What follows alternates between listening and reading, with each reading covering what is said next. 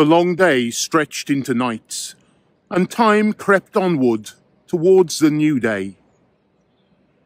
With the first gold of dawn came a resurrection, a new hope that grew with the rising sun and went out to a waiting world.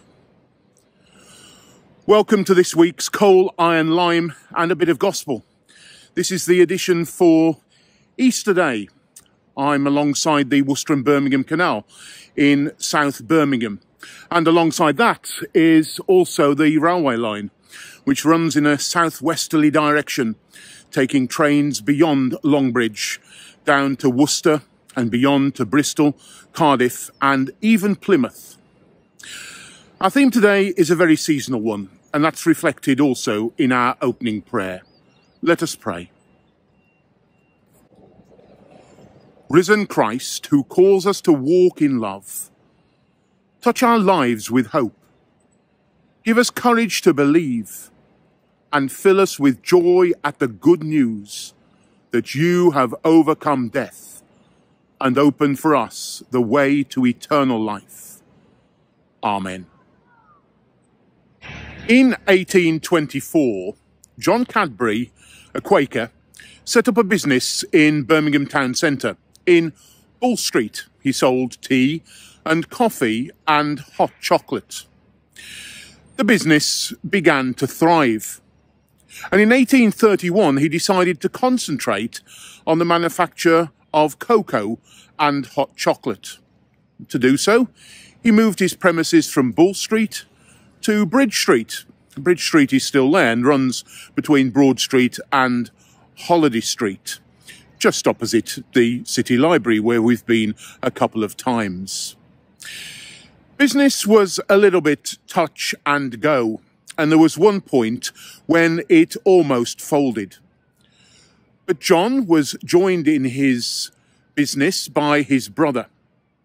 And in 1847, the chocolate industry made a big step forward. Fry's in Bristol, another Quaker family, invented, if you like, the chocolate bar. And Cadbury's followed two years later in 1849. Richard and George Cadbury were in charge of the business by 1861. And by then it was really beginning to boom. And so it was that in the 1870s, they started to look for a new place to build a factory. They took the very unusual step of not building in the already industrial area, but going out to the southwest of Birmingham onto a greenfield site. There, alongside the Bourne Brook, they built their new chocolate factory. And to give it a bit of panache, they chose a name with some French overtones. Instead of Bourne Brook, they would call it Bournville.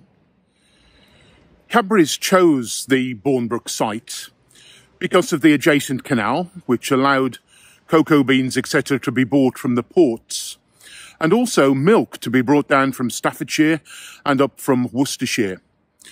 It was also alongside the railway line at a station that was then known as Stirchley Street. It's now known as Bournville, and as you can probably see behind me, it's painted in Cadbury's purple. The original offices on the Bournville site still stand within the centre of the development. But it was before Cadbury's moved here to Bournville that they developed their first Easter egg. But they weren't the ones to introduce the Easter egg to the UK. Once again, Fry's down in Bristol had beaten them to it by producing an Easter egg by 1873. But Cadbury's developed a mechanism to mould the cacao butter that goes into chocolate. They realised that if you poured it into a mould and then rotated the mould while the chocolate was setting inside, you could produce hollow eggs and that's what Cadbury did by 1875.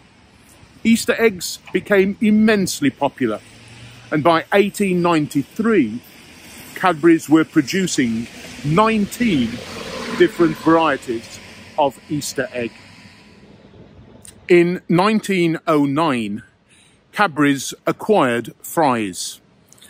But they continued to trade with the Fry's name until towards the end of the 20th century.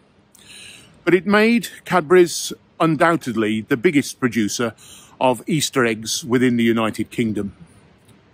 But why Easter eggs?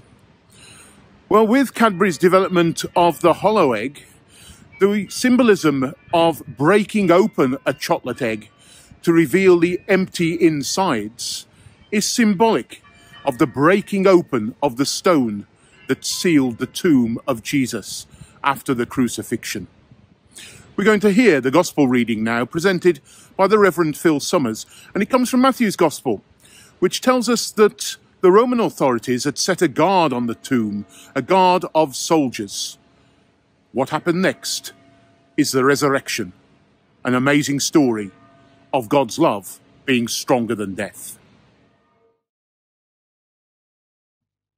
After the Sabbath, at about dawn on the first day of the week, Mary Magdalene and, and the other Mary, they went to the tomb. Well, suddenly there was a great earthquake, for an angel of the Lord came down and he moved the stone away uh, and he sat on it. His appearance was like lightning and his clothes shone like snow. The, the guards there were terrified. They shook and then became like dead men. He spoke to the women, saying, Do not be afraid. You are looking for Jesus who was crucified. He has been raised. Come and see the place where he was laid. Then go and say to his disciples that he has been raised from the dead, and they are to go to Galilee, and he will meet them there. The women came from the tomb filled with fear and joy, and they went quickly to tell the disciples. Suddenly, Jesus met them. He said, Greetings, and they came forward and took hold of his feet and worshipped him. Do not be afraid, he said, but go and tell my brothers to go to Galilee. I will meet them there.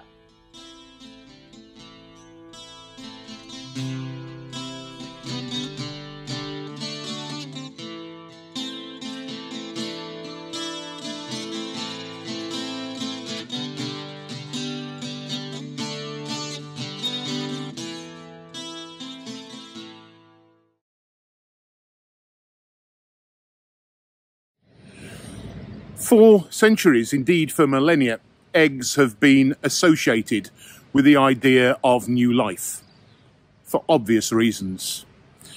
Going back 60,000 years, there is evidence of eggs being used in a practical sense to sustain life too. In the Kalahari Desert, fragments of decorated ostrich eggs have been discovered. And there's evidence that those ostrich eggs were emptied and then used as water flasks. Water, the very substance of life in the desert. Inscribed and decorated eggs were also found 5,000 years ago because they've been found in tombs dating from that period from the Egyptian and Mesopotamian civilizations of that day. This continued into the Christian era, one example being this ostrich egg from Ethiopia, which has a candle inside it, so it functions as an icon of Jesus Christ. Back in the very earliest years of the Christian church, eggs were already symbols of new life. And in the Mesopotamian church in the second or third century, eggs were sometimes painted or decorated red to represent the blood of Christ. When the idea of fasting during the Lent period began to take shape. Eggs were one of the foods that was restricted during Lent, so the consumption of eggs became associated with Easter. Many different ways in which eggs are associated with rebirth, with new life, and with a resurrected Christ. In Goa, in India, Easter eggs are made out of marzipan. And then, of course, the there are the elaborate Fabergé eggs from Russia. Jeweled eggs, which when you open them up, contain fantastic Easter gifts. All these are just different examples of how the egg has become associated with Easter. Eggs have also found a place within the more formal setting of the church. In the early 17th century, a prayer was added to the Roman ritual, the Book of Services and Prayers, a prayer of blessing for eggs at Easter tide. Also, an egg can be used as an illustration of the Christian doctrine of the Trinity one God, known as Father, Son, and Holy Spirit, one egg comprising shell, albumen, and yolk. But going back to the idea of chocolate eggs, they weren't a British invention. In fact, in the 17th century, at the court of Louis XIV at Versailles, chocolate eggs were known. And in Turin, in what is now northern Italy, an enterprising trader had realised that she could fill empty chicken eggs with chocolate and make them a treat for young and old alike. Here, though, is very much the home of the chocolate Easter egg at Bournville, at Cadbury's. The Cadbury family, a family of Quakers, are no longer involved in the business. It's now run by Mondelez. And the tourist attraction Cadbury World has now been taken over by Merlin, who also run attractions such as Warwick Castle and the Sea Life Centres and Alton Towers. But the Cadbury factory, the Cadbury family, are still exercising their Quaker faith. They're still involved, for example, with Bournville Village Trust. Because after establishing the factory here, Cadbury's also built the garden village that is known as Bournville. They provided recreational facilities such as swimming baths, playing fields where I'm recording this segment of the reflection, libraries, schools, churches, and even a great carillon which plays tunes on bells on special occasions. One of those occasions, of course, will be this coming Sunday, Easter Day, when we pronounce Alleluia, Christ is risen. He is risen indeed. Alleluia. God, we thank you for the gift of Easter eggs, a sign of new life and of Christ's resurrection. May the joy of Easter be a reminder of the joy we have in you, now and always, through Christ's death and resurrection. Christ is risen. Alleluia. Amen. So you have plenty of symbolism when you tuck into your Easter eggs. Break open the egg, like breaking open the empty tomb. The egg also represents the stone that had been rolled across the tomb, and also, of course, that symbol of new life. And even as you tuck into your boiled egg in the morning, you got the shell, the white, and the yolk, the Trinity of Father, Son, and Holy Spirit. Thank you for being part of this reflection this week. There won't be a reflection next week, but I'll be back in two weeks' time. In the meantime, take care, stay safe, and remember that the best of all, God is with us.